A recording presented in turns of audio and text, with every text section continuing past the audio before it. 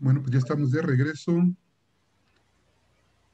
Y ahora sí continuamos con ya como la clase como tal, no teniendo dudas de cómo vamos a llevar el cuatri, pues comenzamos. Antes de entrar a, a la crónica como tal, tenemos que ver qué es el texto narrativo. Y dentro del texto narrativo vamos a ver también qué es la narrativa. Este, y pues obviamente vamos a ver aquí, texto narrativo. Nos dice que es un texto que precisamente esas características que tiene el texto es de narrar, dar el contexto, eh, dar este, explicarnos, llevarnos hacia el lugar, hacia el fenómeno y describir. Sobre todo el texto narrativo nos va a describir que eh, lo que nos está diciendo aquí, que es un tipo de texto que se caracteriza por el hecho en el que se cuentan una serie de hechos o de acontecimientos. Si yo voy a describir en, una crónica de la pandemia, yo tengo que precisamente describir qué es una pandemia, qué, cómo se está viendo esa pandemia, cómo se está llevando o cómo están surgiendo estos hechos de la pandemia, estos acontecimientos, dice, los cuales pueden ser reales o pueden ser ficticios.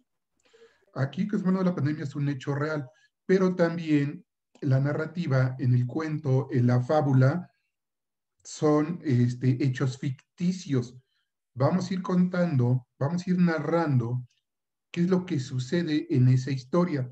Si vemos que el delfín se casa con la tortuga y porque este, su, este, su unión no puede ser, etcétera, etcétera, vamos a ir narrando sobre algo ficticio ahí vamos a utilizar la narratología y la, la narratología es precisamente esta ciencia, bueno, esta forma, más que ciencia, es esta forma eh, de la literatura, esta técnica que nos ayuda a explicar y hacer creíble lo increíble.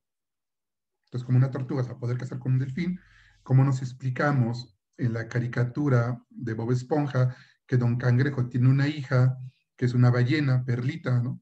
Entonces, Cangrejo y una ballena, aunque sabemos que es adoptada, pues, ¿cómo se puede dar una relación entre un cangrejo que pueda este, dominar, que pueda este, educar a una ballena? Esas formas nos las da precisamente la narratología, pero eh, voy a dejar a un lado la narratología, sino voy a ir a lo que estamos viendo ahorita aquí, el texto narrativo. ¿Qué nos está narrando? ¿Cómo nos los narra? y entonces nos va a ir describiendo. Esa es la parte del texto narrativo y que también utiliza la, la, crónica. Es parte o es uno de los elementos esenciales, por eso lo estamos viendo.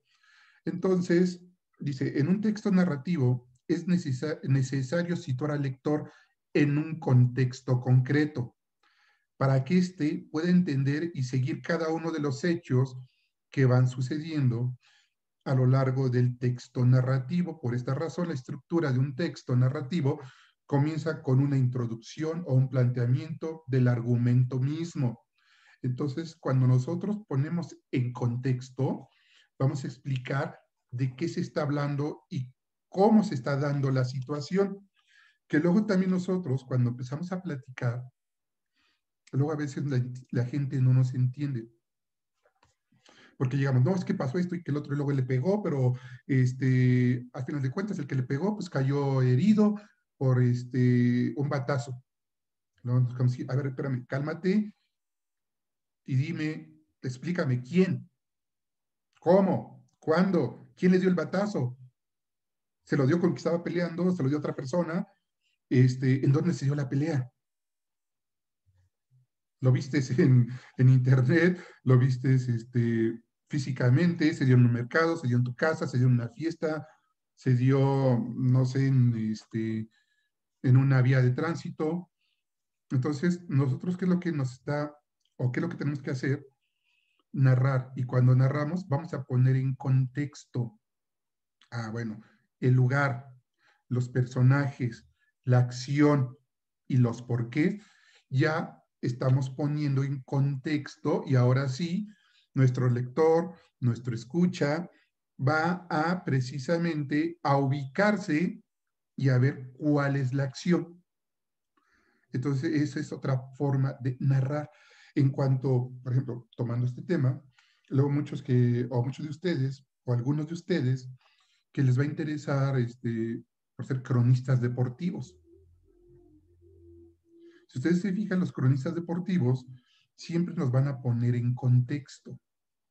Eh, el ya tan conocido, afamado y replicado Perro Bermúdez nos empieza hablando de que en 1900 y tantos y tal, este, director técnico y que y después, una vez que nos pone en contexto, que nos da datos, después empieza a hablar con este, algunos de los este, jugadores, ¿no? Y que este jugador que ganó el, este, el torneo tal y que estuvo con tal grupo o con tal este equipo, etcétera, etcétera, nos va dando principalmente mucho contexto, nos va ubicando y el por qué es un este, jugador goleador y por qué le está yendo bien, etcétera, etcétera. Eso es el contexto, ponernos en tiempo, forma, el qué, cómo, cuándo, el por qué de la situación. Entonces, todo lo narrativo es ponernos en ese contexto y lo utilizamos en todo, sobre todo en la, este, en la crónica deportiva, en las noticias,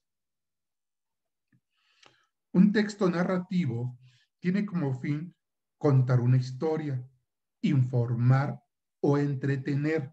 Entonces puede ser cualquiera de estos puntos o incluso pueden ser los puntos en su conjunto.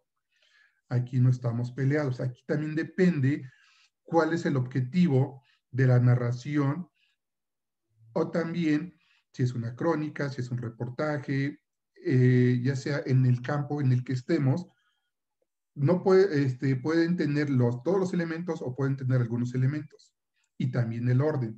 Pero siempre cuando narramos tenemos que tener precisamente estos, que es primero contar una historia. ¿Qué está pasando? Informar. Y también muchas veces entretener. Entretener ya viene por sí misma. De hecho, incluso también si nosotros nos ponemos más analíticos, las, este, las noticias también nos entretienen. Es una forma, sí, de enterarnos, informarnos, pero también, ¿qué es entretener? Es tenernos nuestra, dice, nuestra vista, nuestra atención fija y de alguna manera, aunque sean noticias trágicas, nos desconectamos del mundo y estamos atentos. Entonces, es una forma de entretenimiento. Entretenimiento no solamente son las películas, no solamente son las competencias, también las noticias forman una parte de este entretenimiento. Entonces dice, se caracteriza por fijar de un narrador quien puede aparecer a través de un personaje dentro de la historia y estará en primera o segunda persona en caso de ser un narrador omnipresente. En el relato estará en tercera, en tercera persona. Entonces, bueno, la narrativa y las características de la narración, bueno, que ya lo han visto en otra materia, vamos a ver que hay diferentes tipos de narradores, ¿no? el narrador omnipresente, que es el, como si fuera Dios, que ve todo, hasta incluso puede estar dentro del pensamiento de las personas. Eso lo vemos mucho en la literatura, ¿no? Que de repente, o en las novelas, o en alguna película, que hay una acción y de repente dice, y María pensó en quitarse la vida. Entonces, es omnipresente porque no solamente nos está narrando qué es lo que hacen los personajes, sino también se mete en la psicología y en el pensamiento de los personajes. Ese es el narrador omnipresente. El narrador presencial o testigo, que es la persona como, como si estuviera presente, pero como si fuera un fantasma, donde no dice nada, en algunas ocasiones, en algunas es el, este, el narrador este, presencial participante, sería el que es testigo de la situación. Entonces, vamos a ver uno, que es un narrador, que sería como un fantasma que narra todo, pero ahí no lo ven. Él narra qué sucedió. Hay otro narrador que es el narrador que es este que es testigo, pero que también es este participante, el que puede ser este un amigo, puede ser parte del público y que tiene interacción con este, los personajes.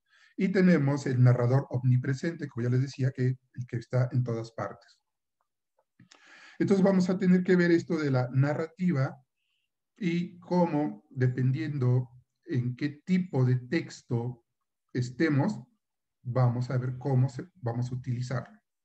Entonces, nos dice que el texto narrativo se caracteriza por tener diversos elementos, como el narrador, el narrador quien es quien cuenta la historia y que puede estar en presente como uno de los personajes, el omnisciente, todo lo que sabe y va revelando las secuencias y ser testigo que se conoce la historia, pero va narrando lo que observa. Y también los personajes, quiénes son los personajes, cómo actúan en los acontecimientos que van sucediendo en el relato. Pueden ser personajes principales, los protagonistas, los que se basa la historia, o los secundarios que intervienen en un hecho puntual de relato, o también pueden ser los antagonistas, en este caso pueden ser los villanos. Eh, eso es en una narrativa eh, literaria, pero también en una crónica, en un suceso, en una noticia, podemos, eh, podemos ver estos personajes. Por ejemplo, las ya este, tan enunciadas y controvertidas este, mañaneras de López Obrador. Ahí vamos a ver quién es el personaje principal, López Obrador. ¿Quiénes son los antagonistas? Pues los este, reporteros que le hacen preguntas o algún otro participante del público que mete una controversia o que quiere echar pleito, que cualquier cosa. Entonces ahí tenemos a nuestro personaje principal y al, al principal y al antagonista, y podemos tener algún otro personaje terciario que ya sea que esté con López Obrador o que esté con alguno que hizo la pregunta o algún reportero. Entonces, sí, esto lo podemos ver que también este, lo podemos este, utilizar o darnos cuenta que existe dentro de la, este, si estamos en una crónica ¿no? o un reportaje. Por eso digo que es importante verlo esto antes de entrar a... Luego vamos a ver que toda narración va a tener el espacio. El espacio es uno de los lugares específicos en donde transcurre la historia. ¿A dónde es? ¿Es un interior? ¿Es en un exterior? Y el lector logra imaginar cada espacio y sentir emociones particulares a través de la descripción que detalla el autor. Cuando nosotros narramos, eh, ahorita voy a meter un poquito a lo que es la, narrativa periodística.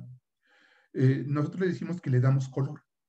Cuando nosotros decimos que a una nota le damos color, es cuando empezamos a narrar y empezamos a describir no solamente lo físico, sino también algo de lo psicológico, este ambiente. Vamos a suponer que estoy haciendo la crónica de la mañanera de López Obrador y empiezo a describir, es un espacio amplio, con un, todavía se puede apreciar la decoración Art Deco, y el ambiente estaba denso.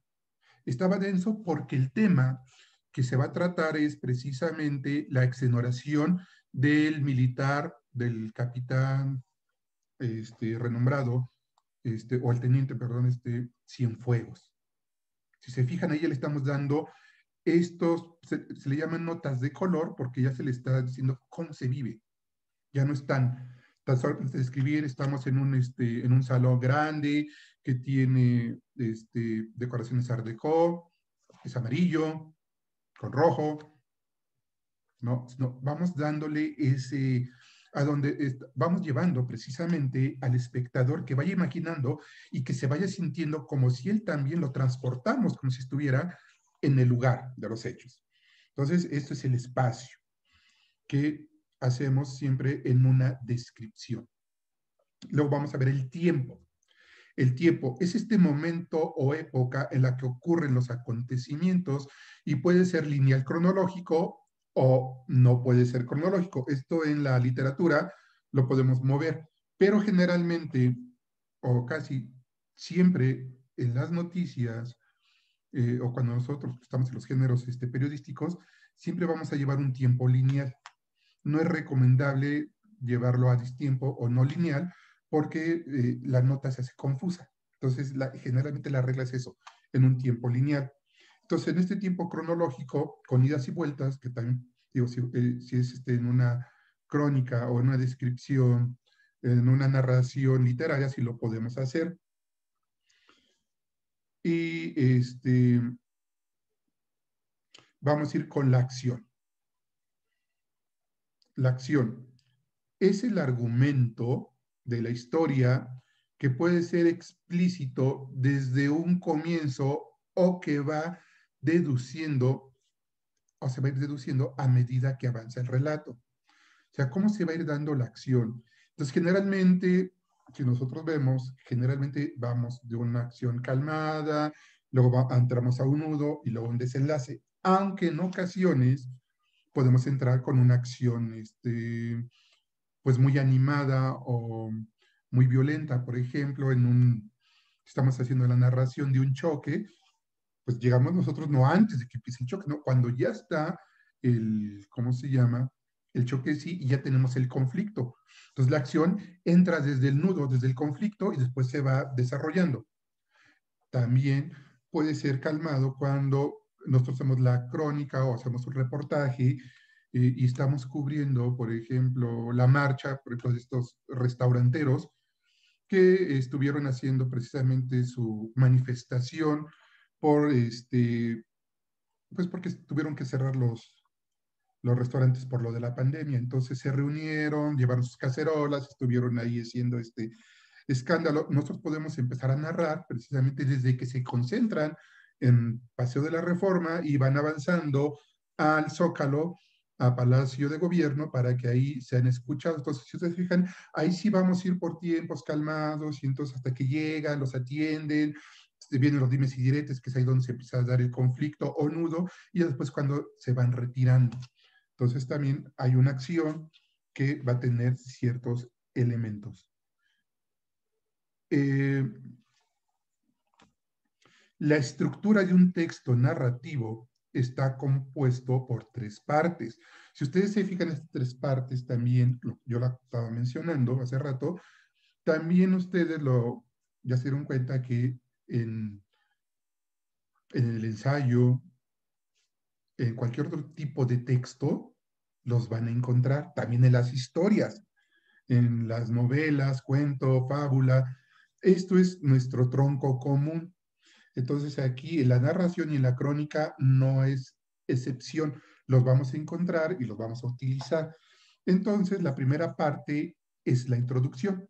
Y la introducción es la presentación de la historia que permite situar al lector en un contexto determinado, en tiempo y lugar, y en la que se introduce a los protagonistas de la historia. En esta introducción vamos a decir qué está pasando, por qué está pasando y quiénes participan en lo que nosotros estamos narrando o, estamos enterando a las otras personas. Tenemos el desarrollo o nudo. También aquí, dentro del desarrollo o nudo, dependiendo del autor y también dependiendo de la disciplina o del género en que estemos, le pueden llamar de otra forma. De esto, este, no, vaya, es lo mismo, nada más que lo nombran de diferente forma para que no les meta conflicto. Entonces, el desarrollo o nudo es la parte más extensa del relato donde se conocen los detalles de la historia y de los personajes y de los acontecimientos que los conectan. Entonces, ¿cómo van pasando las cosas? ¿Por qué están pasando las cosas? ¿A qué se está dando la situación que es el desarrollo? En el desenlace. Muchos les ponen este, el fin. Aquí lo vemos con el desenlace. desenlace. El desenlace es precisamente el cierre de la historia con la que se revelan los interrogantes que surgieron durante el desarrollo del relato. Puede ser un final trágico, puede ser un final feliz, puede ser un final abierto eh, a la duda o a la posibilidad de continuar con otras obras posteriores, si es que hablamos de este, literatura, cuento, novela. Si estamos hablando de una noticia, cerramos en que se quedó. Si estamos, esto también, si ustedes se dan cuenta, también lo vemos, por ejemplo, en la tesis. En las tesis encontramos que hay una introducción. que hay un desarrollo, nudo, conflicto, cuando empezamos ahí a, este, a dialogar con los autores y empezamos a resolver el misterio y empezamos a resolver, a desarrollar también nuestra hipótesis y nuestro dicho. En el desenlace, o, la, o el fin o la finalidad, como les dicen, bueno, que en el desenlace también de una tesis, ¿qué es lo que hacemos? En el desenlace hacemos un recuento, una pequeña, este, digamos, abstracción de todo y a qué se llegó. Luego, por eso, cuando yo reviso tesis, luego les digo, no es posible de que me hicieron una buena introducción, me hicieron un desarrollo muy extenso y su desenlace o sus conclusiones son de un párrafo. ¿A qué? O sea, no, falta el desenlace, como aquí lo está diciendo, vamos a cerrar la historia. O sea, ¿en qué se quedó? Si se mataron, no se mataron, este, si el presidente le dio solución o le está dando solución a lo de Cienfuegos, este, se va a quedar en, eh, en que posteriormente se va a proseguir o ahí quedó la cosa de Cienfuegos, un ejemplo, ¿no? Entonces, en el desenlace sí tenemos que ser también un poquito, no muy extensos, pero sí no podemos ser tan breves. Entonces, dentro de una narración, vamos a utilizar estos tres puntos, lo que se utiliza en todo tipo de escrito.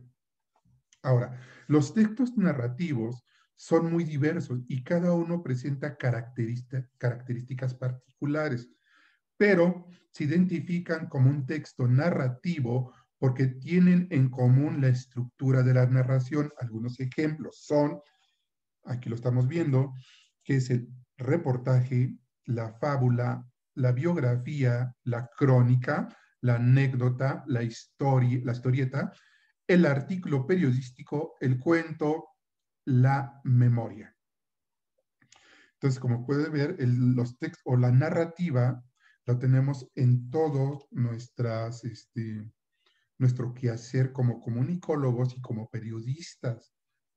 Por eso, cuando nosotros a veces, o a veces no entendemos muy bien esto, lo que es la narración, cuando hacemos un reportaje, no nos damos a entender bien, no nos, no nos explicamos bien. Yo se los comento porque me pasa seguido con los alumnos, luego de repente me llegan con un reportaje, con uno de los eh, de la generación que ya egresó, un día este, me llegó con un reportaje que era igual de los perros, los perros callejeros. Y de repente, pues sí, el reportaje me puso este, eh, imágenes muy conmovedoras, etcétera, etcétera. Pero yo le decía, bueno, ¿ya qué se llegó? ¿En dónde fue? Nunca me explicaron en dónde se realizó el reportaje, quién era el protagonista, porque aunque sí sea este, un reportaje de perros callejeros, siempre va a haber un, protagonista. ¿Quién puede ser? Ah, incluso el mismo reportero puede ser el protagonista. Algunas veces quieren, cuentan la historia y ponen a un perro como protagonista, ¿no? Por ejemplo, no sé, chocolate, vamos a poner, es un perro callejero, pero como es café, lo vamos a nombrar chocolate. Y chocolate pasa tantos días en la calle, este, come lo que puede, chocolate mm, no solamente es un perro, este, como tal, nos dimos cuenta que Chocolate es una perra y es primeriza y, tiene sus cachorros y por eso sale a, robarse la comida, etcétera, etcétera. Entonces, ahí podemos ir viendo y vamos narrando precisamente en ese reportaje, vamos poniendo en contexto que Chocolate es un perro callejero que sufre y que, este, y que vive cerca del, del mercado de Santiago Tianquistenco y que Chocolate sufrió la pérdida de sus cachorros de la camada anterior porque alguno de los comerciantes nos comentó que Chocolate, ah, decimos que era primeriza, ¿verdad? Bueno, que no perdió cachorros, perdió a sus hermanos, que Chocolate era parte de una camada de perros, cafés y negros, y que la perrera se los llevó y que eh, vamos a investigar qué pasa con estos perros y estos perros este, los llevan y los electrocutan, ¿no? Ahora ya con las nuevas este, leyes de protección a los animales, los envenenan o les dan una muerte más digna, pero con anterioridad, y todavía en algunos municipios se sigue practicando, ¿no? Para ahorrarse dinero, a muchos los, inyectan, a muchos les dan, este, los mata con un balazo, a veces para ahorrarse las inyecciones, la inyección letal o para ahorrarse este, las balas que están caras. ¿Qué es lo que hacen?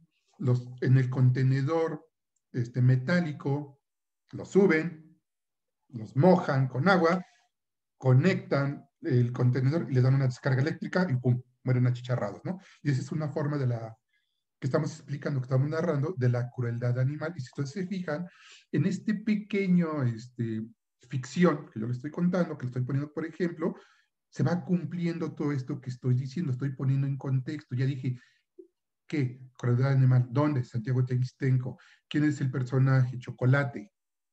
¿Quién es el personaje secundario pivote? El comerciante que comentó que este, la, pequeña o lo que vivió de esto, que Chocolate es parte de una, este, de una camada que fue este, agarrada por la perrera y que les dieron este cuello, como se diría, ¿no?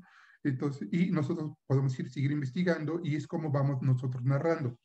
Entonces, por ejemplo, en esto que yo estoy explicando, nunca lo vi en el trabajo de sus compañeros. Entonces yo les decía, ok, ya me estás explicando que es crueldad animal, pero ¿cómo? ¿En dónde? Ok, sí, me pusiste este, imágenes muy conmovedoras de perritos maltratados, sarnosos, etcétera, etcétera, pero le faltó esta amalgama, esta unión de sucesos y explicación que pudiera lucir más tu reportaje. Entonces, muchas veces esto de la narrativa como que se les va de la mano. Entonces, hay que, hay que tenerlo muy puntual para cuando hagamos o ustedes tengan que hacer algunos de estos trabajos. Ahora sí, vamos a entrar un poco lo que es la crónica. Entonces, la crónica se le domina que es un género literario incluido en la historiografía generalmente. ¿Por qué? Porque la crónica se utiliza más, sobre todo en la historiografía o en los textos históricos, porque van siendo detalladamente, nos van poniendo cómo van sucediendo las cosas en una línea de tiempo. Entonces, esta es la, la crónica es el elemento principal de los historiadores pero también en los géneros literarios, la crónica es muy importante, digamos, la columna vertebral, porque es como nos van situando en tiempo y espacio de cómo van sucediendo las cosas, ya sea en una historia ficticia, como también nosotros, si es que hacemos, aparte de historia de una, este, en un reportaje, también en nuestra columna vertebral, que decía, vamos a poner, vamos a situar a los personajes, en el contexto, en el tiempo, en la forma también, le vamos a ir dando forma. En la noticia es también de suma importancia. Me he dado cuenta que ya este, en Internet, en muchos de las, este, de los blogs o de las, este, de los blogs, páginas y demás, se está dejando muy afuera esto de la crónica. Luego de repente veo noticias que salen. Fulano de tal pasó esto. luego se queda uno, sí, pero ¿cómo? ¿Cuándo? ¿Dónde?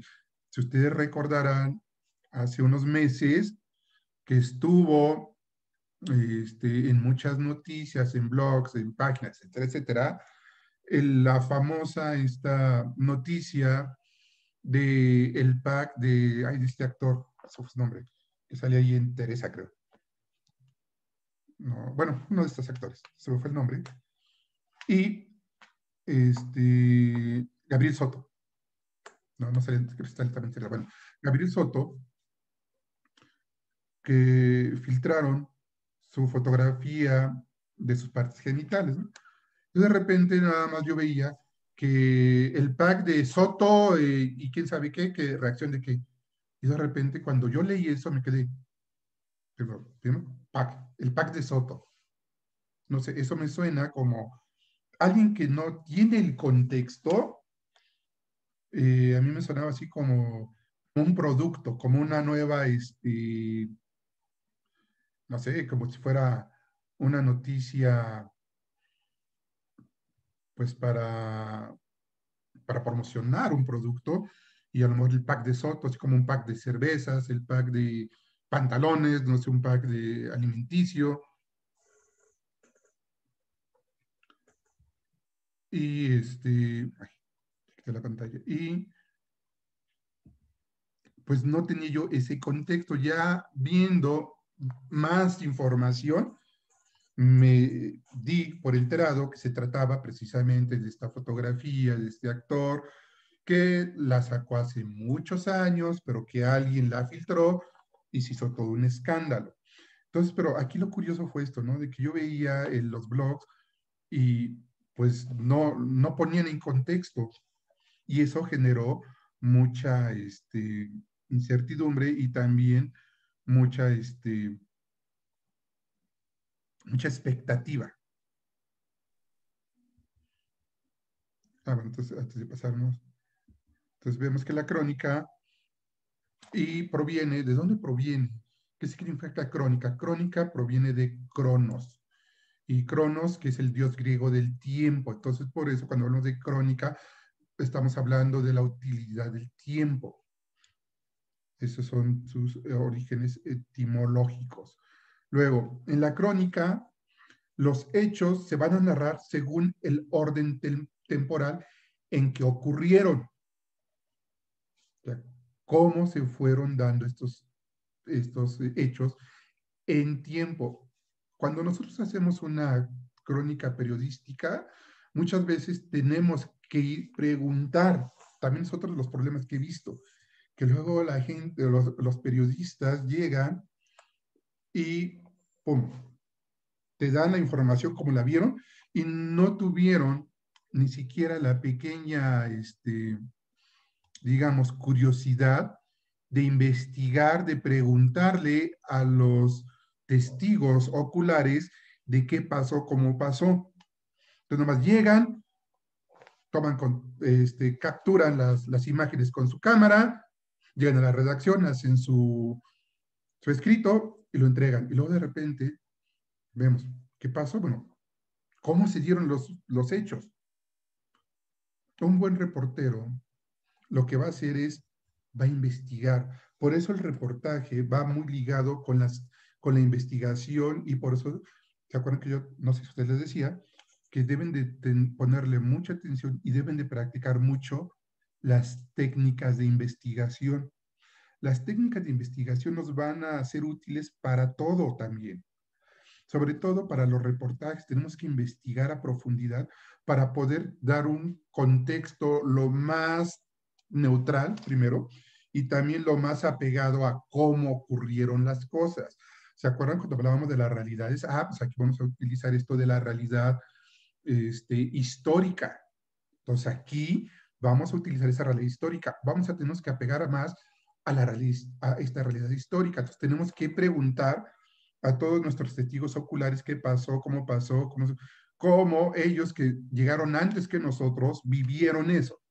Y ya eh, recopilando información podemos promediar algo para poder poner un contexto un poco más claro y objetivo. Dice, a menudo por testigos presencial, presenciales o contemporáneos, ya sea en primera o en tercera persona.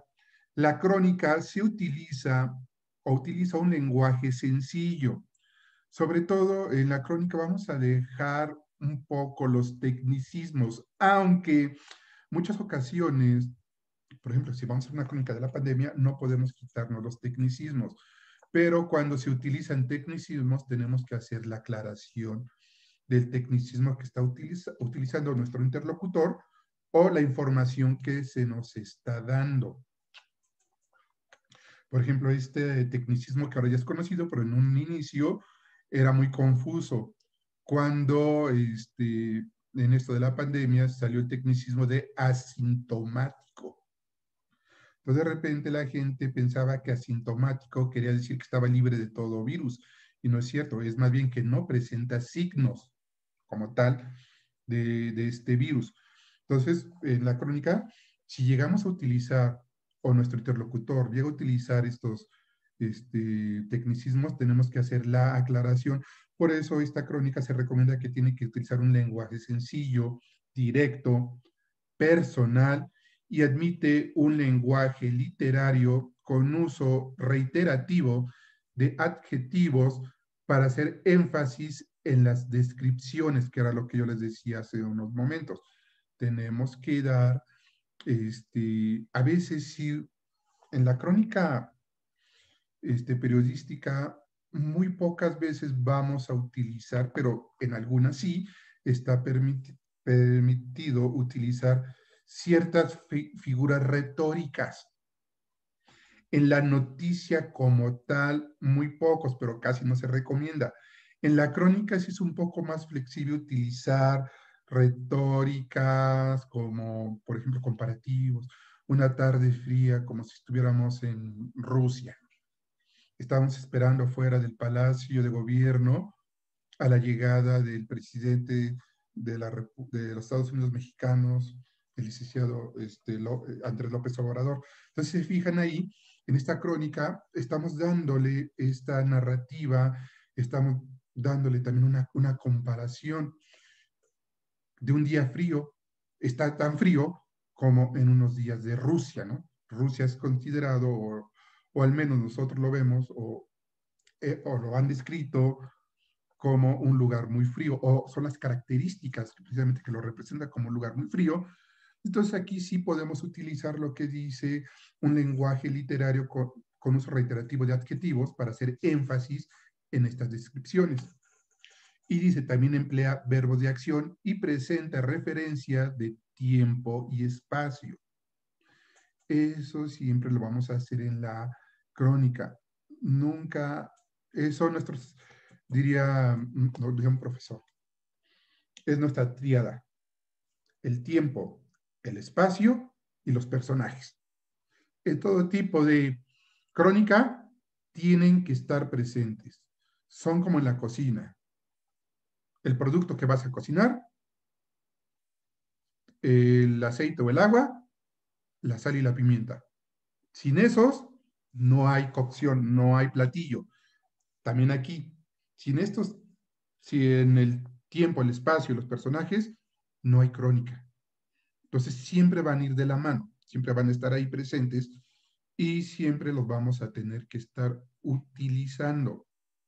Por eso es importante que este, los mencione aquí y que esté yo reiterando esto. suena fácil, nosotros damos por hecho, a veces cuando nos ponen a leer los profesores, lo vemos, lo leemos, muchas veces lo leemos pero no lo comprendemos, y si no lo comprendo, cuando lo pongo en acción, luego estoy preguntando, y profe, ¿cómo que tiene que ser la crónica? Que para eso estamos nosotros, ¿no? para resolver sus dudas. Pero, ¿qué pasa cuando no está el profe? Cuando lo tienen que hacer ustedes. Un ejemplo, ¿no? Eh, que sea un, por ejemplo, para su evaluación final. No, que sea una crónica de tal. Vamos a poner que no estamos en pandemia. Que yo les diga yo, este, quiero que me hagan una crónica de la marcha de los este, productores de chicharrón prensado de Mexicalcingo. Los mando a Mexicalcingo a que cubran. No va a estar el profesor para sacarles las dudas. Entonces ahí tienen que regresar a, a los principios que estamos viendo ahorita y poderlos este, poner en tiempo y forma y son estos tres. Entonces, mientras se los graben de memoria y los sepan utilizar, ya están del otro lado. Bueno, aquí me está diciendo ya Zoom que me queda un minuto. Entonces, como les había este, dicho, que son dos, dos videos de 40 minutos y su respectivo descanso y ahorita su otro descanso para su otra materia. Bueno, como ahorita apenas estábamos iniciando, no les he dejado actividad, que ahorita estarían, les, les dejaría para realizar una actividad, pues ahorita ya estamos comenzando, pero ya les dejaré una tarea o alguna actividad para la siguiente clase que la tenemos el, este, ah, pues mañana, ¿no es cierto? Sí, cierto, no. Sí, cierto, mañana, miércoles, pero es de 10 a 12.